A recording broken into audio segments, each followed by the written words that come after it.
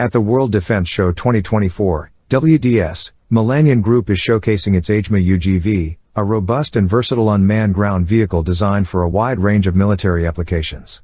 This demonstration showcases the AGEMA UGV's potential when equipped with the Warble Fly loitering munition, intended for precision strike missions. The AGEMA UGV is engineered for all-terrain mobility, featuring an 8x8 drive configuration and is fully modular which means it can be customized with wheels or tracks to navigate various terrains, including steep inclines. Its design focuses on functionality, security, and reliability to assist and safeguard military personnel in diverse and challenging environments. Mission Profiles for the AGEMA UGV include force protection, ISTAR, intelligence, surveillance, target acquisition, and reconnaissance, logistics support such as resupply and medical support, drone and anti-drone operations, anti-tank support, route inspection, communications, border protection, infrastructure security, and search and rescue operations. The AGEMA is designed to operate in multi-domain scenarios, including GPS-denied environments, and can be deployed rapidly due to its amphibious capabilities. The vehicle can be controlled remotely or autonomously and is compatible with the Zeus Pro ground control station,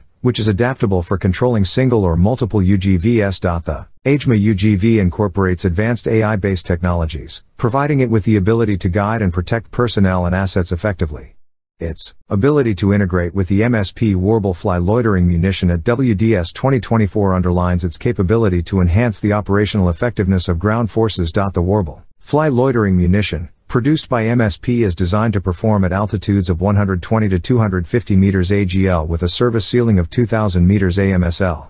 It has an endurance of over 30 minutes, a cruise speed between 80 to 95 kilometers per hour, and a maximum speed of 150 kilometers per hour. Its combat range extends from 10 kilometers on the ground to 25 kilometers at operational altitude. With a maximum takeoff weight of 6 kilograms and compact folded dimensions, the Warble Fly is equipped with various warheads for versatility and is capable of immediate readiness and guided strikes. The Warble Fly's transportability and rapid deployment capabilities are facilitated by a tube launcher backpack, enhancing ground forces precision targeting and quick response. Milanion also announced partnerships at WDS 2024, including a collaboration with the Jordan Design and Development Bureau for electric propulsion USV conversion and with Industria Aeroespatial to develop and manufacture advanced defense equipment.